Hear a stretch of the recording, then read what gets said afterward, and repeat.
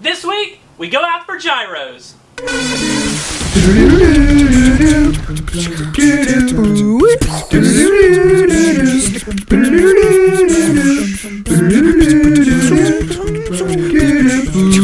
My pick of the week this week is Doom Patrol from Young Animals. This is from the new DC imprint that I was telling you about a couple of weeks ago. It's from the creator of the award-winning Umbrella Academy and the frontman for My Chemical Romance, Gerard Way. We've got six variant covers for this first issue, and for this cover that we've seen in most of the solicitations, the gyro is a peel-off sticker. How cool is that? The whole point behind DC's Young Animals is to showcase new talent, and when you see these pages by Nick Derington, you'll see why. It doesn't matter if you're an old fan of the Doom Patrol, or this is your very first issue, there's something for everybody here. You should check this book out. It's probably going to be one of the best books of the year.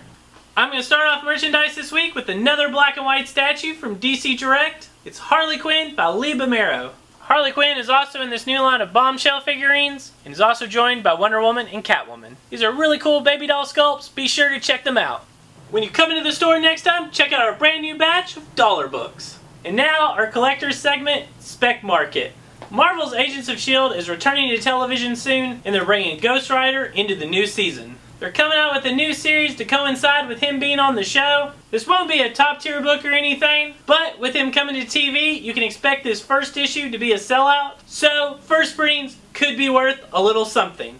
The production team for Wolverine 3 has officially announced Mr. Sinister as the villain. His first appearance is in Uncanny X-Men issue 221. It's already a key book going in the 20 to $30 range. If you're already looking for it, I would really try to find it. Or if you are holding on to one, I would get rid of it around the, when the movie drops. The mainstream movies always give the biggest boost.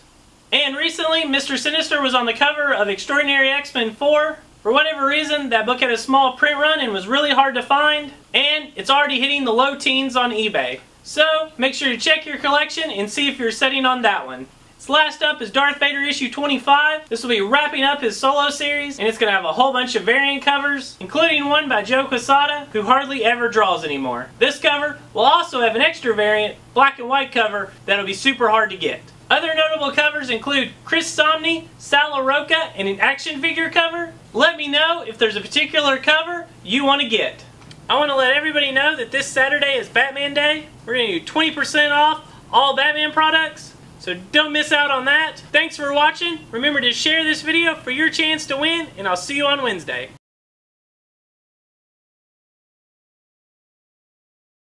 Be sure to check them out. Alright, that works. Get, uh, don't touch it. Don't touch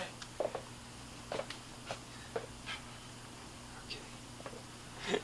I'll kill you. I'll kill you dead.